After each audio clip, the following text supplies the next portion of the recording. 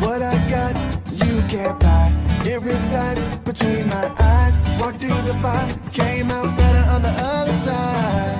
See, life's like a beach if you find the right now, I'm feeling like a hundred grand.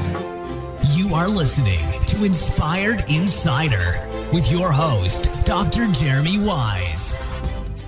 Dr. Jeremy Weisz here. I am the founder and host of InspiredInsider.com, where I talk with inspirational entrepreneurs and leaders. Today is no different. And this is a special episode. I am actually interviewing founders and CEOs live at the Sweets and Snacks Show. And so check it out. Um, we have some amazing companies featured. Check this episode out. And before I get to that, this episode is brought to you by Rise 25. At Rise 25, we help businesses give to and connect to their dream 100 relationships. Uh, how do we do that? We help you run your podcast. We are an easy button for an organization or business to launch and run your podcast. I've been podcasting for over a decade now. You know, for me, the number one thing in my life is relationships. I'm always looking at ways to give to my best relationships. And I found no better way to do that than to profile the people and the companies I most admire feature them on my podcast and shout from the rooftops what they're working on and what they're doing. So if you've thought about starting a podcast, you should. If you have questions, you can go to rise25.com or email us support at rise25.com to learn more. Now, check out today's episode live from the Sweet Snack Show.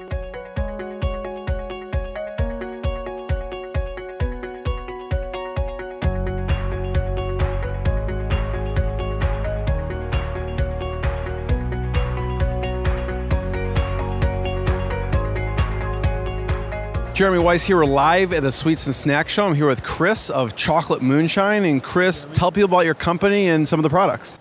Well, thank you for being here with us. Uh, we are a luxury chocolate maker. Uh, we've been producing chocolates and fudge for about 30 years now.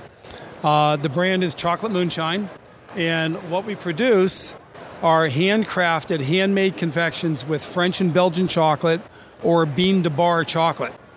What you're looking at right there is a hand cast pina colada that's made with 34% Jamaican rum, that's made with fresh pineapple, fresh coconut. My mouth is watering just talking about it. It is absolutely off the chart delicious. On the, this line, we do about 20 flavors that are alcohol infused. We do 30 flavors without alcohol. If it is alcohol infused, it's cooked off so it's legal, but it has that incredible rum taste or bourbon or whiskey uh, or Irish cream flavor. What are some of the fan favorites as far as the alcohol infused? Probably the top few are black cherry bourbon. That's 54% distilled bourbon. That's crushed black cherries. We have a smoked whiskey piece. Um, and then we have a rum runner, which is 36% Jamaican rum. So those are some of the those are some of the biggest ones, and we create different collections with the alcohol. We have one that's the boozy collection, which is our top 10 booze flavors.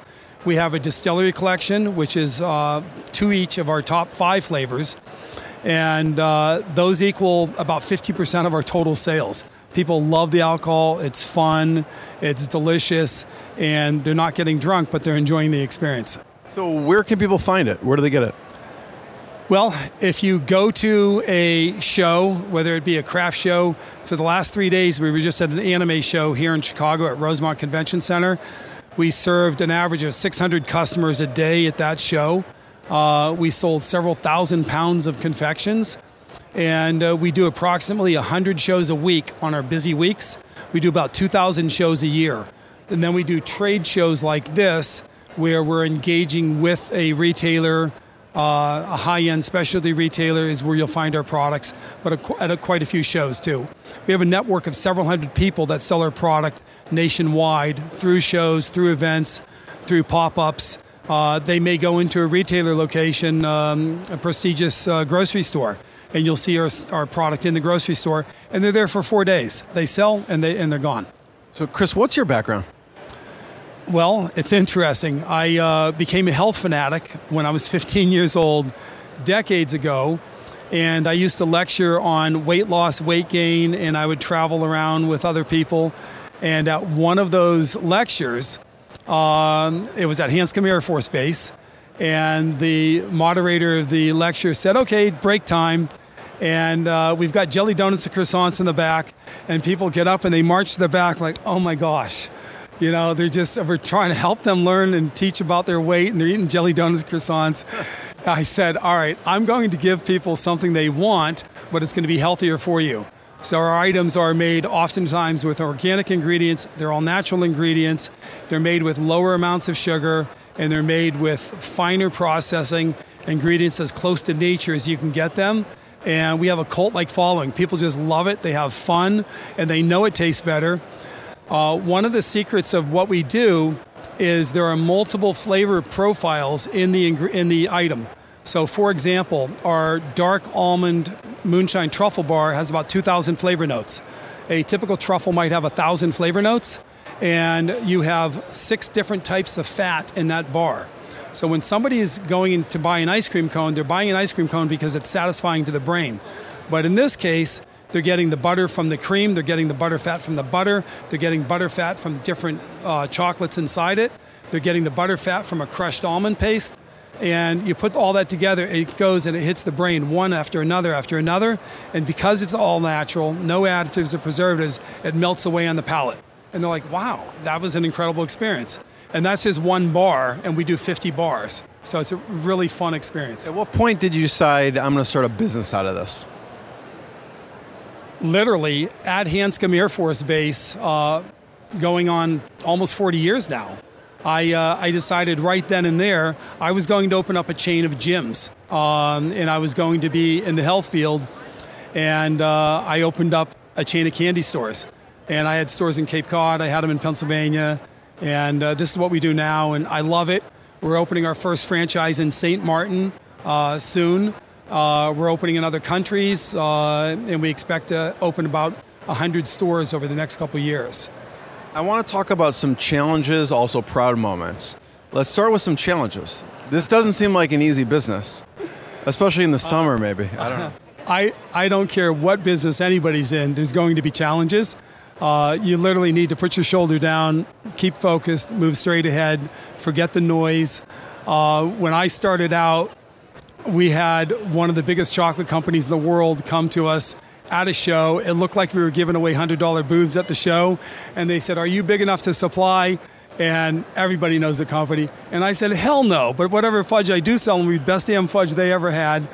They laughed. They came over and they said, We want to do business.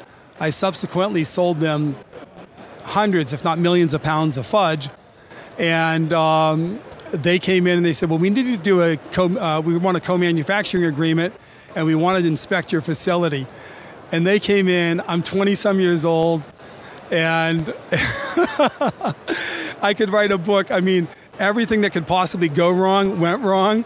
And the guy says at the end of the audit, he goes, "You do realize you failed, right?" I go, "Oh yeah, I know." And uh, but he liked the fact that we had a trainable, teachable spirit.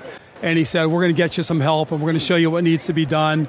And that started us on a whole nother path.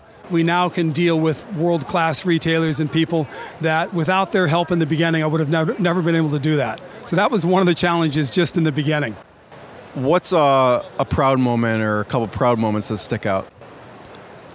There's quite a few. Um, we have been voted the best fudge in the world. Uh, it's been featured in Candy Industry Magazine. Uh, we were on Good Morning America recently with this line. Uh, we just did, I think, our 24th appearance with QVC over the last probably five months. And uh, we're building two more plants. And um, we've hired 250 people from the Bosnia Herzegovina Serbia war when that was taking place. And I was saying, how am I going to get all the people to make all this candy? Next thing you know, somebody comes in and said, Do you need any staff? We have 250 people we're trying to employ. I hired them all, hired more. So those are those are just good, heartfelt, beautiful things. I work part-time as a missionary and we take a portion of what we do now and we support orphans and build churches and water wells and help so many people. Um, and without the blessings of the business, I couldn't do those things. So it just at the end of the night when you go to bed and it's midnight and you're getting up early, you don't mind when you know people are being benefited. It's, it's exciting. Chris, thanks for sharing your story. Where can people find out more? Where should they go online to check it out? Well, we have cho- chocolatemoonshine.com, uh, and they can order on chocolatemoonshine.com. We'll be on QVC June 4th. We'll be on QVC June 8th again. Um, and this is fun, and you'll see us at, if you go to an event, we're again we're at about 2,000 events a year, uh, and just look for us in grocery and different places for special events. Cho- chocolatemoonshine.com. Check it out. Thanks, everyone. Thank you. What I got, you can't buy. It resides between my eyes. Walked through the fire, came out better on the other side. See, life's like a beach if you find the sailing right now. I'm feeling like a hundred grand.